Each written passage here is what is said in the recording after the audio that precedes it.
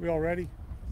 Okay, do you want to start off with a question or Can do you you, want start me off with to your first and last name, your Sure. title as you want to appear? Okay, sure. Uh, I'm Alex Lemishko, and I'm with the National Transportation Safety Board. Alex, can you spell Nabishko? L E M I S H K O. Okay. Where does the investigation stand right now? The NTSB just arrived at the scene probably about an hour and a half ago. We were notified by the uh, Arvada Police Department.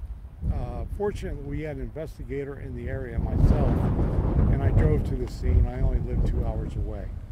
So we are in the preliminary stages of the investigation. We're on scene collecting perishable information at this time. Uh, we do know that this was a Beech 35 aircraft, 1969 model. It had six seats in it.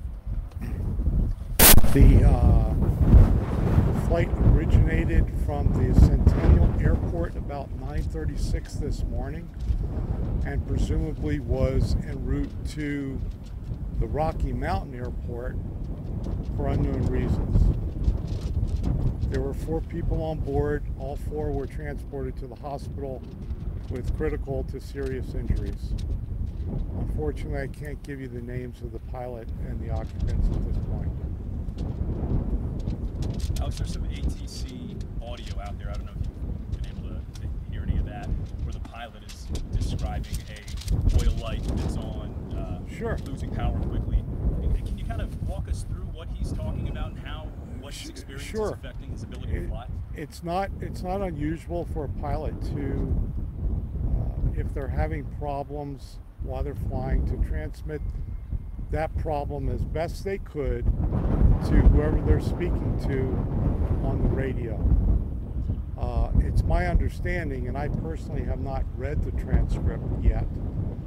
Uh, my priorities are with the accident scene here right now, but it's from my understanding that uh, there was a report from the pilot that he was having some sort of engine issues and that he was going to try to make Rocky Mountain Airport.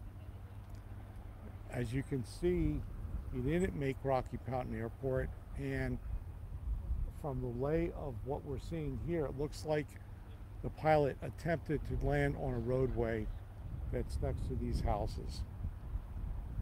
Can you talk about the uh, debris field or anything that you're analyzing Sure. on the street? Sure.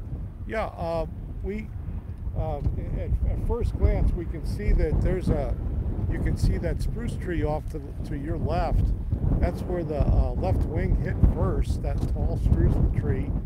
And then the aircraft uh, did land on the roadway and skidded down the roadway and, and wound up in the backyard. Uh, apparently, uh, quite a bit of fuel was on board, so there was a post crash fire and thank goodness for the lo- local response of the uh, Arvada uh, Fire Department to be able to handle that fire and get those people you know, out safe.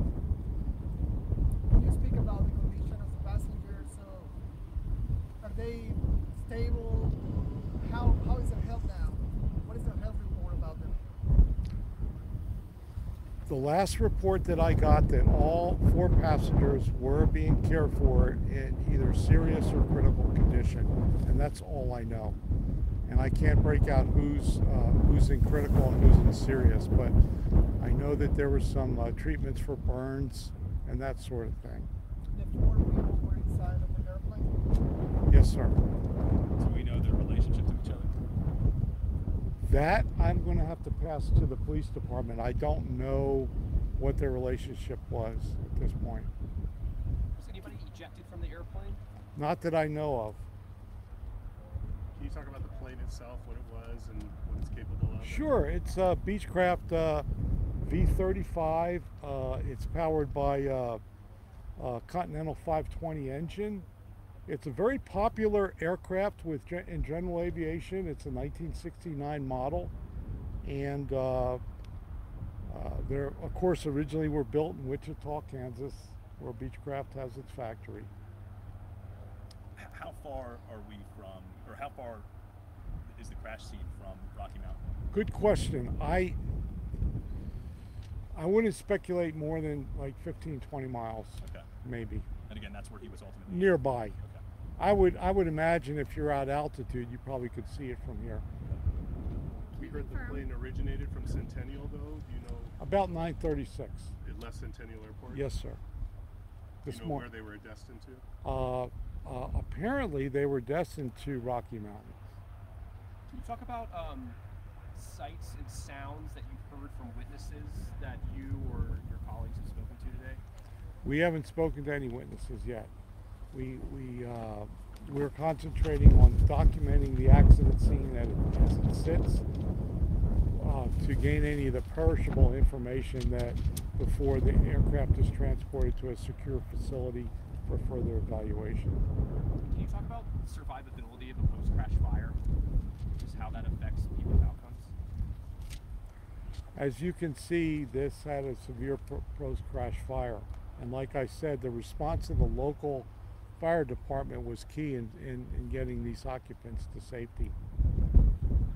We know that every one of these crashes are, is, is different. Have you seen anything that's unique about this one yet in your preliminary sort of investigation? I haven't seen anything unique. I haven't been here long enough to uncover anything, really. Can you confirm adults, kids. I can leave that to the to the sheriff here. He can answer that question. Nice catch. Is there any information you can have on the pilot? Training's coming up.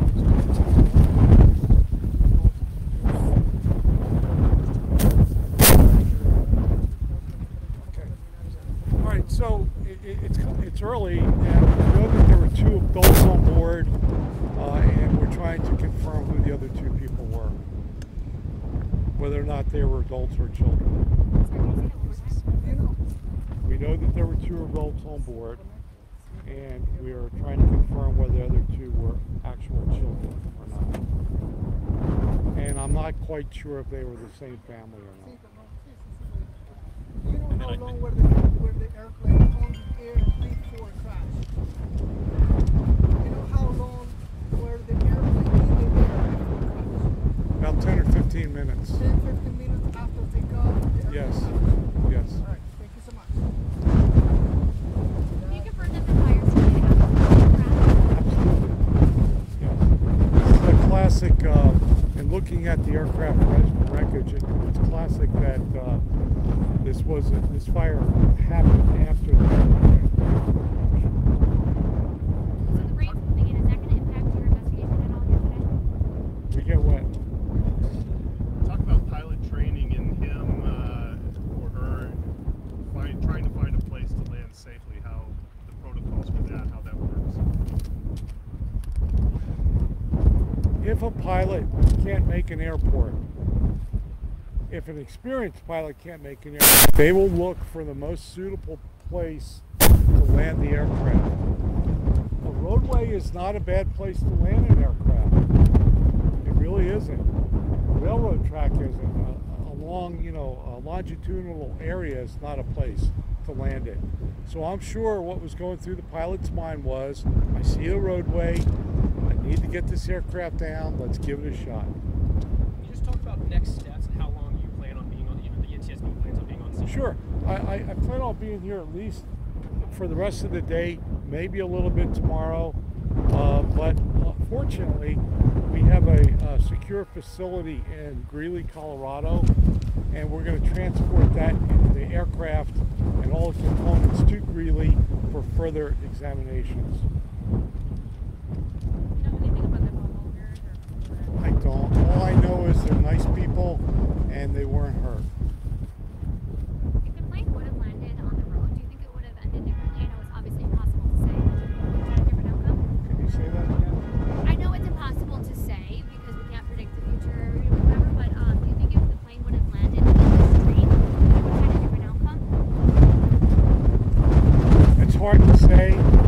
I mean, apparently he was trying for the roadway and it veered off the roadway. Had it stayed on the roadway,